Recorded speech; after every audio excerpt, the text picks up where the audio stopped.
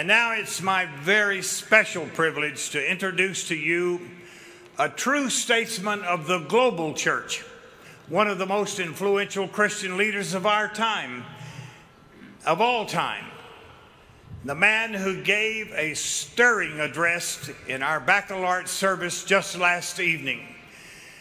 This morning, we've asked Dr. Ravi Zacharias to take a few moments to remind us all of the one for whom we're here our Lord Jesus Christ. Welcome, Dr. Ravi Zacharias.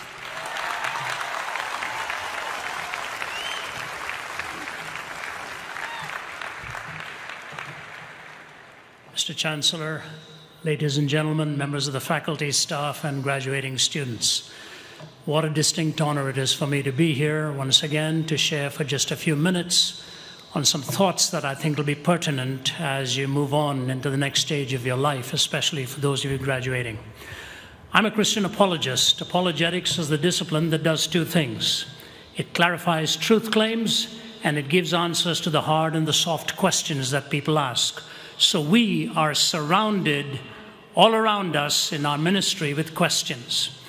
It was uh, two or three years ago, I just arrived. I think I landed from Bangkok into Newark, New Jersey and my plane was a little delayed, and I rushed over to the gate and I looked at the marquee, and it gave the name of a city that wasn't matching my boarding card. I was heading to Atlanta, which is home. So I just looked at a lady sitting in the corner and I said, Excuse me, is this plane going to where it says, or is it heading to Atlanta? She says, Going to Atlanta. I said, Thank you very much. And I was walking away. I heard the patter of feet behind me. And then she tapped me on the shoulder. She said, Excuse me, are you Ravi Zacharias? I said, I'm afraid so, I am. She said, I'm amazed. I didn't know you had questions as well. That's a true story, I didn't make it up. I said, That is one of the simplest questions I have ever asked. Where is this plane headed?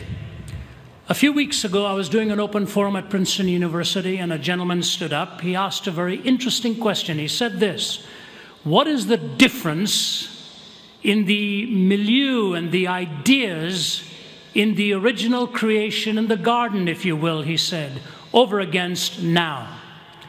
I said, Boy, that's a long question. Let me keep the answer brief. I said two things. I said, number one, the presence of God. And number two, I said, if you remember, in the legal framework, there was just one prohibition and one temptation. Think of that. You shall not eat of the tree of the knowledge of good and evil. Just one caution, one warning, one law to bear in mind. What happens? The enemy of our souls comes, and what does he say? Did God really say that? Is this a propositional statement from God? And then the seduction in the day that you eat of it, you know, you shall be as God, knowing good and evil. I take that to mean in the day that you defy the one mandate of God, not to define good and evil, everything wrong will ensue. So, all that happened in that garden was simply the denial of God's prerogative to be the definer of good and evil.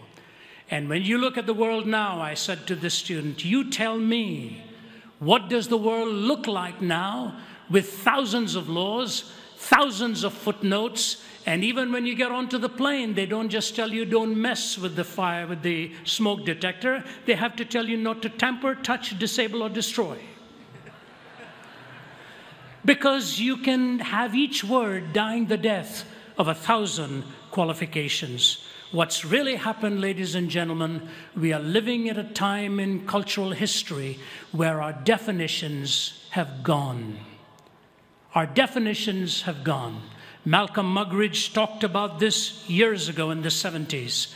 He said it is difficult to resist the conclusion that 20th century man has decided to abolish himself. Tired of the struggle to be himself, he has created boredom out of his own affluence, impotence out of his own erotomania, and vulnerability out of his own strength. He himself blows the trumpet that brings the walls of his own cities crashing down. until at last, having educated himself into imbecility, having drugged and polluted himself into stupefaction, he keels over a weary, battered old brontosaurus and becomes extinct.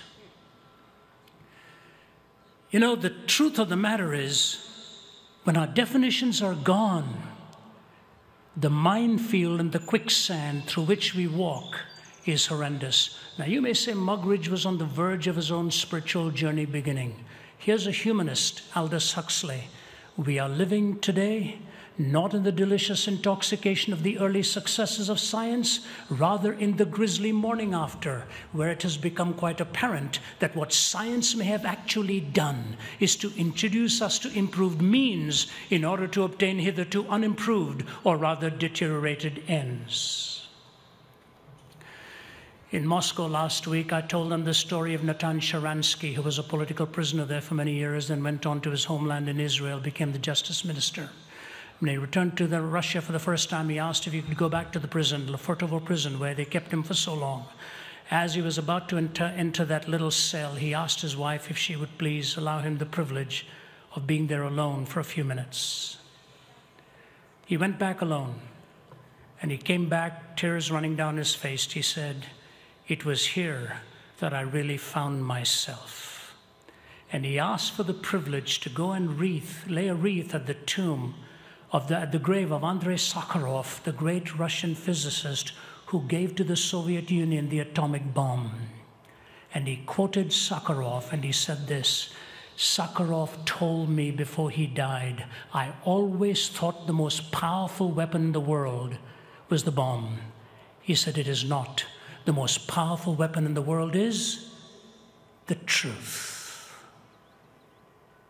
Winston Churchill said, The truth is the most valuable thing in the world, so valuable that it is often protected by a bodyguard of lies. By a bodyguard of lies. Where do we go from here? What do we do when those in their punditry have told us years ago where we were headed? Where is America now? Listen to Chesterton. Under the smooth legal surface of our time, there are already moving very lawless things. We're always near the breaking point when we care for only what is legal and nothing for what is lawful.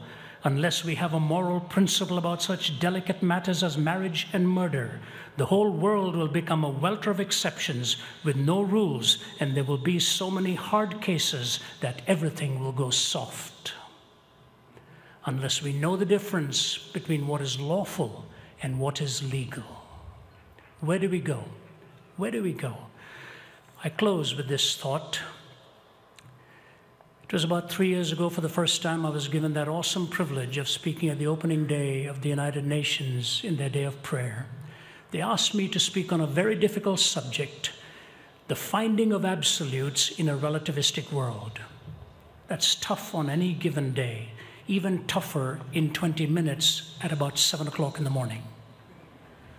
6.30 or 7. What, uh, what could you do where there's a plurality of worldviews sitting in front of you? So I did this. I said, we are looking for absolutes in four areas. Evil. How do you define evil? Justice. How do you define what is just? Love. How do you find the source of love and the absoluteness of love? And when we blow it, we look for the grounds of forgiveness. These are the areas that govern our lives for which we want definitions evil, justice, love, and forgiveness. Sitting at the edge of their seats now, I had to be careful. I said, Ladies and gentlemen, can I ask you this?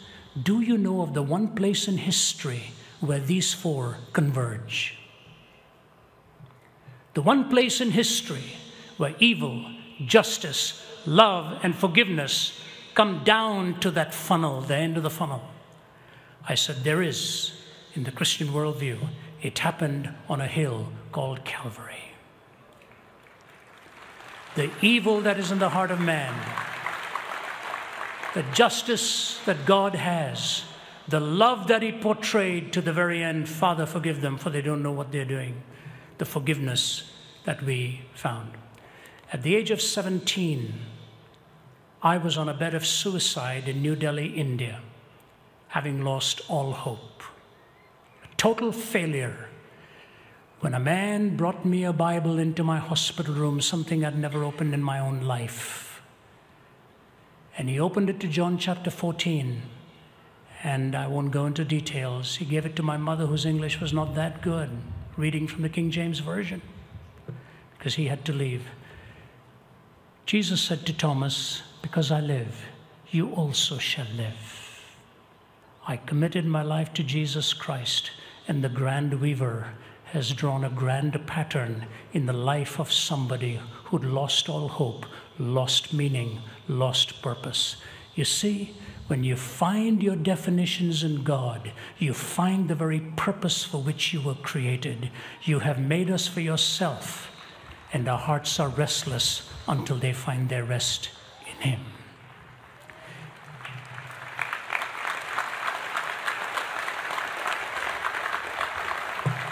Can I close with this quote?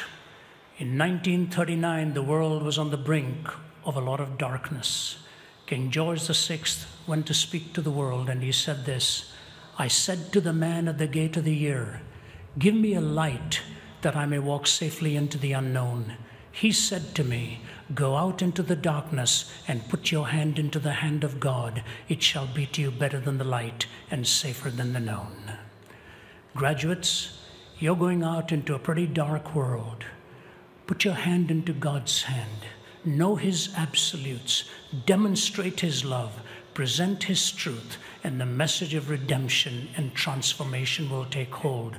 The story is to be told to many, and the experience and joy of transformation is unique. The gospel alone has that story. I pray God's blessing on this university, sir. May He give you your best days ahead. And what an honor you've given me in order to be able to come here and share. May God richly bless you. Go out into the darkness and put your hand into the hand of God. Thank you.